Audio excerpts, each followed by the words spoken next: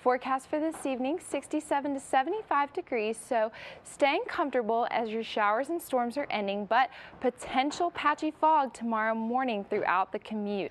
Around the DC metro area, we'll continue dreaming of a white Christmas, highs hitting 49 degrees on Sunday, so much too warm for any snowfall.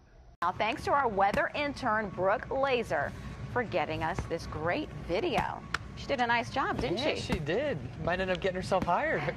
As a photographer, right? I'm meteorologist Brooke Laizer, and tonight we're feeling fantastic as clouds cover the skies, but keyboards rain throughout the afternoon. That low pressure system will still be sitting off of the coast of New York. Expect 39 degrees tonight, cooling conditions and cloud cover. 68 degrees tomorrow. Satellite and radar is completely clear throughout northeast Mississippi right now. Comfortable conditions tonight, even better throughout the next few days. I have details at noon.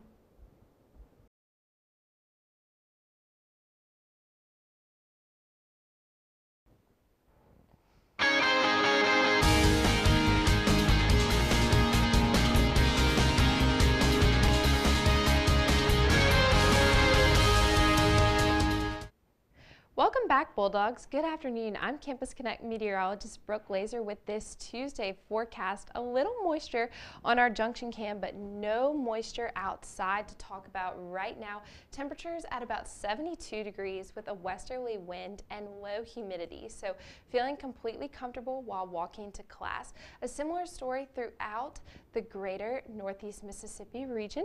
71 degrees in Starkville and 72 degrees in Columbus. So extremely gorgeous outside for the last day of January. Temperatures have warmed considerably since yesterday.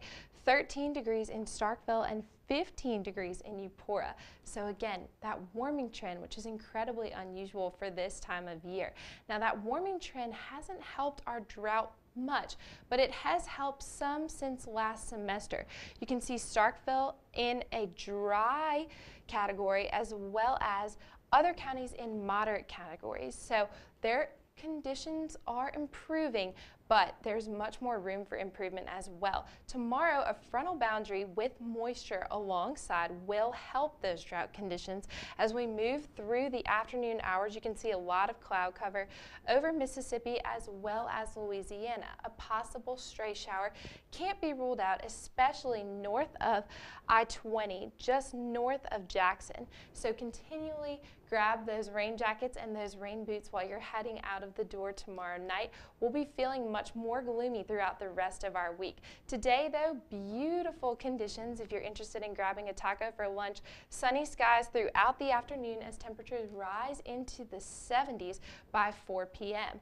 Same story in Oxford. If you're headed out to the Mississippi State Ole Miss basketball game, expect a beautiful drive, 69 degrees and sunny skies at 4, then dropping down throughout the rest of our clear evening, but about 55 when you're walking out of the game.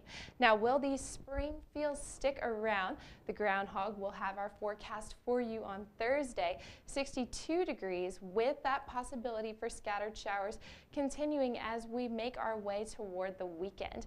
Seven day forecast shows 60 degrees throughout the rest of our work week until Friday when we drop down into the 50s as we continue staying in the 50s throughout the coming weekend. We'll rise back into the 60s by Monday though. Follow us at MSC Weather for constant updates and me at Brooke Laizer WX. Have a wonderful week.